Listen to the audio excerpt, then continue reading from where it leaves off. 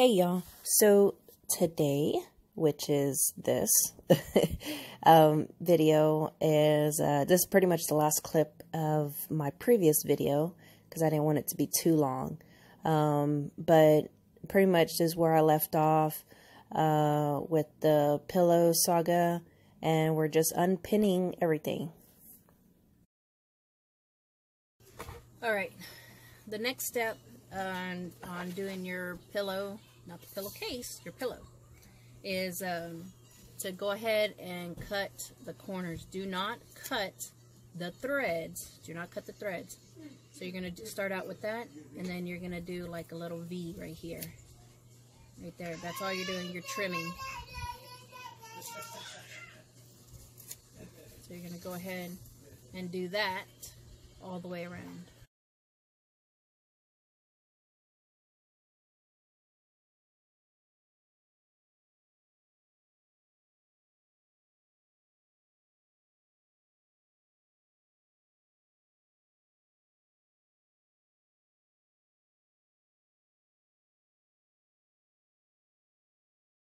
And remember, all of your these, you want to save them because you're going to use them for inside your pillow. Okay? Now, you can flip it around. Okay? So here's your little opening where you made it. And you want to go in between the two cottons. In between the two cottons. Trust me, there's been many of times where I accidentally did it where it's the cotton and the and the uh, batting. That's the only reason why I'm saying it because I've done it.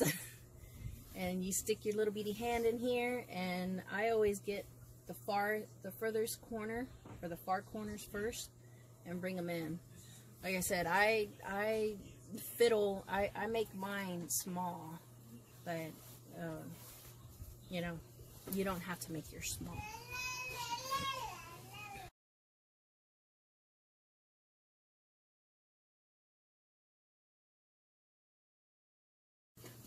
And then when to take your corners to make them more pointy, if you can stick your finger in, if you if you have a small enough finger to stick them in, then then it, then that'll work. If you don't have a, a, finger that's skinny, you can use this your scissors. Just be very careful. Make sure it's not pico. Make sure it's like blunt, you know, dull, I guess you would say. And then just kind of, you know, go inside and then just kind of you know, poke it out. Um, but my corners are, are pretty cornery. Cornery. and you want to do that to all four of them.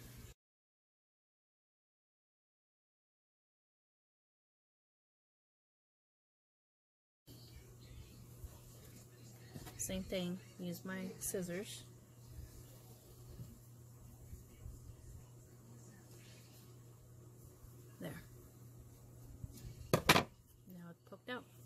There it is. All right. We're almost there. Now it's time for the stuffing. Let me go get some uh, some stuffing. I'm going to use both stuffings and um, uh, scraps for my pillow. That's how I normally use use up my my uh, like my batting scraps or my flannel or my fleece scraps just, you know, just to get rid of them. So let me go ahead and get some scraps. All right, so here is my drawer that has scraps. Say scrap batting. But it doesn't have just batting. Uh, of course, here's batting. But it also has um, some, uh, well, I put the colors down here. Uh, I had some uh, fleece in here. But um, and then the fluffy stuff. But I took out all the dark colors out because I don't want it to to see through through the white. So this is all like white batting, white fleece, stuff like that. So if you have a little stash of scrap batting, uh, obviously this is where you're going to start at. Um, just real quick, I am going to go ahead and uh, do a quick press on it. One, uh, not only to obviously get the wrinkles out, but to also, um, I want to steam this down a good crease So that way when I sew it down, um, you know, I won't have to fight it or anything. So let me go ahead and start with this crease right here. So I just want to do a quick crease, a nice good crease. Let me steam that bad boy. And then let me do the other side. Or actually, I think I can just do it right on top of it. There we go. Just like that.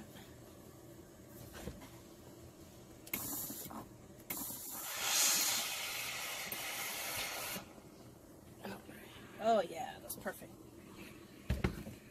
And then also um, press the, the edges.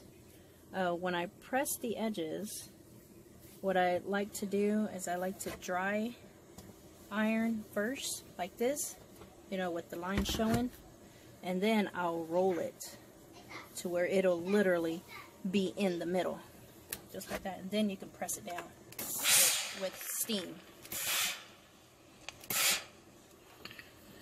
Like, uh, like I said, th that is like the easiest way to do it. Okay.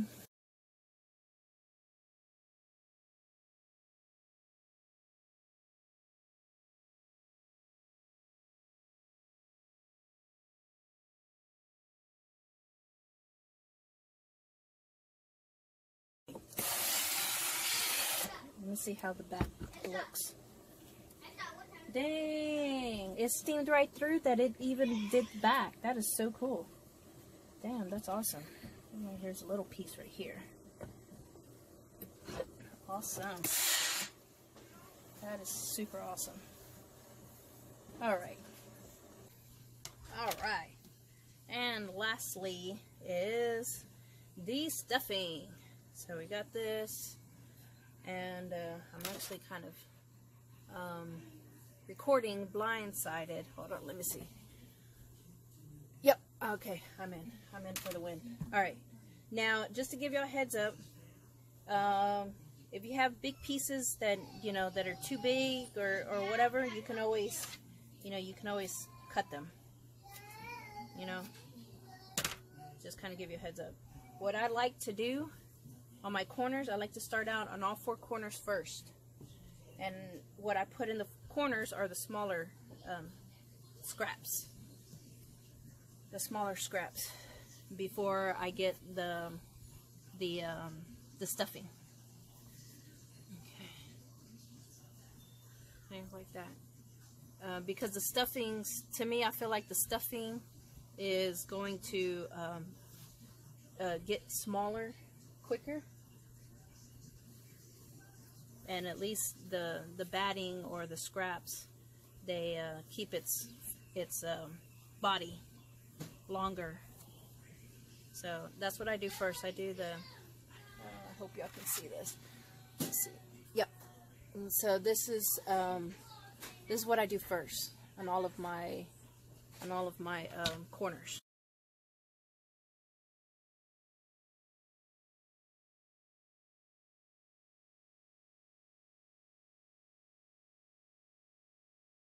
to do is um, on the edge, that's where I, I, I, still use the batting. So, um, and with the batting, I just like kind of keep it like, kind of like a like a donut or or not a donut, like a sausage, and kind of stuff it around. So that way, you know, like I said, the body can stay firm. And uh, like I said, I I just do the outside, the furthest edge first. I do the further furthest edge first, and then uh, go all the way around. So, like I said, just do that.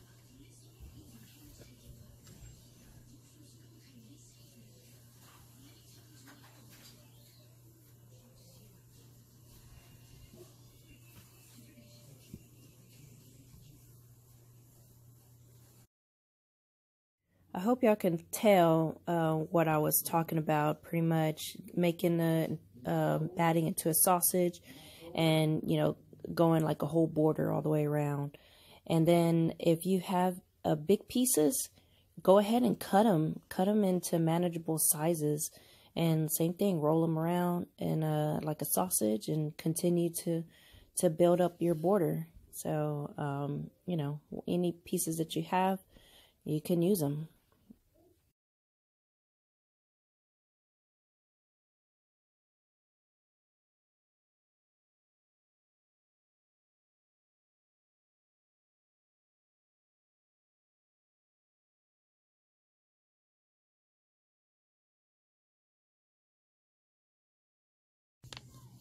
All right. So this is how your pillow will look like. It looks like a like a like it just got a big old indent in the middle. But all of your border is already filled with the batting. And so now in the middle, if you want to continue with batting, you can or not. If you have stuffings, you can put stuffings in. Um, I'm going to do a little bit of both, both batting and stuffing. So I need to go in the in my dungeon to go get my stuffings. And same thing, uh, if you have big pieces, you know, cut them down into big piece, uh, into smaller pieces. If you can't fit it inside the hole, um, you know, just kind of improvise. Think, you know, uh, what you can do to get the pillow fatter. Right. We're are almost done. So here's the last thing we need to cover up this hole. Now I didn't stuff it enough. I didn't stuff it to where it's going to be real hard for me to put in the machine because I am going to use my sewing machine for this. I'm going to, uh, um, uh, what is that word? Close it up. I can't even think of my words right now. I'm going to close it up, but, uh, but here's the pillow. And of course I need to fluff it up and make it look all pretty afterwards. But um, go ahead and bring this in. Turn this around. There we go. And like I said, I didn't stuff it enough. I didn't stuff it fully, full, um, because I'm going to hem it all the way around. Uh, and it'll bring it a little bit more tighter and more secure.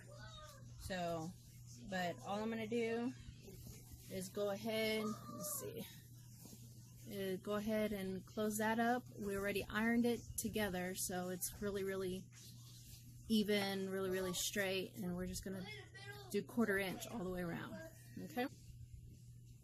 Now, if you want to do hand stitch, you can. You can hand sew it shut. I don't. I don't like to do it. Okay, just in case, let me show you real quick what I just did. Where's the pillow? There it is. See? That's what I did. All I did is I just um, pinned it together so I can sew it, hem it.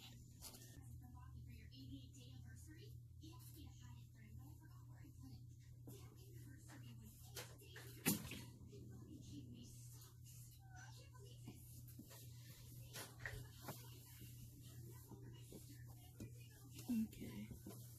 There we go. Bring that down. Now I'm just going to do a blanket stitch.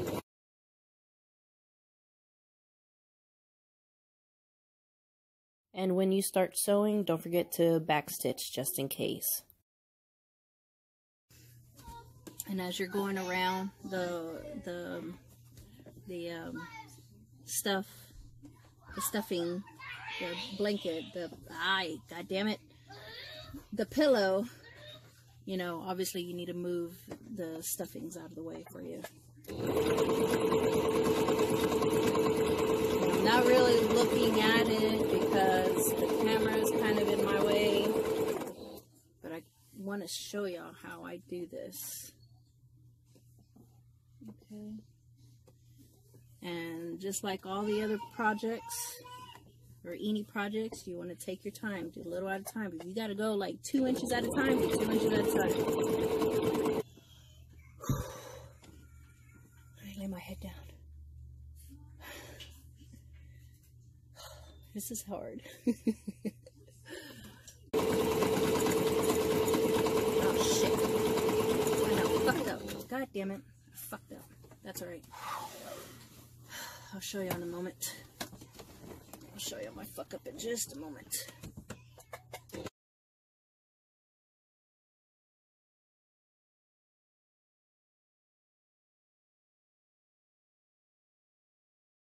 Oh, and also, if you got to take a rest, take a rest. Uh, don't stress on it. Uh, take your time on it.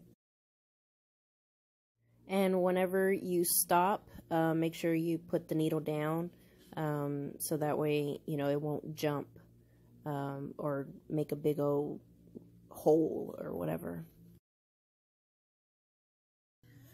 Oh my god. I finally finished it. Have you finished those errands? well, Mom, what'd you do? I made a pillow Wow, why is it so big? because I made a really big pillow. Wow, I like it. Yes. All right. Give me So, there it is. Can you see it? Yeah. Cool. And I just, like I said, I did a blanket stitch. I mean, you can obviously do a regular stitch, but some parts I messed up, but that's okay. I'd rather have a finished project than a perfect project because a perfect project takes forever and it has to be perfect and not everybody's perfect well except for maybe maybe angela walters she's perfect Well, I'm perfect. yeah you're perfect because you're stinky Okay, Oh my thanks God. for making me a pillow. all right so this is our pillow. Oh yeah let me show you my mess up real quick. Mess up? You messed up, Mom? yeah but i'd rather it being finished than perfect. Where is it at? Where's my mess up? Mm, oh right here. I don't know. Can you see it? There i'm, I'm lowering the the dark the brightness. So right here is where i messed up. Um because i didn't have my my needle down when i was moving it and so i mean it's just a little a little funk. I don't even know if you could even tell. I could tell. See, yeah, here it is. See, it's like this, and then it jumps down because I didn't keep my needle down. So I guess, you know, obviously make sure your needle's down. but yeah, that's my mess up right there. But I like it. It came out good. Came out pretty doggone good and then just fluffed the hell out of it. And like I said, it's a good way to use your scraps. And, uh, and you don't even have to buy a pillow. All right. So I hope y'all enjoy. Um, like I said, it was just something, something different, something quick.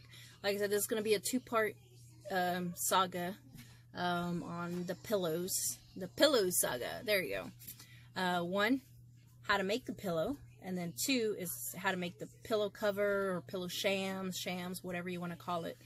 Uh, inserts. Well, I don't know. I don't. Whatever you want to call them that's going to be on the next one. But anyways, so I hope y'all like. Uh, don't forget to like, subscribe, all that other good stuff, what all the other YouTubers says. And I will see y'all in the next. Peace.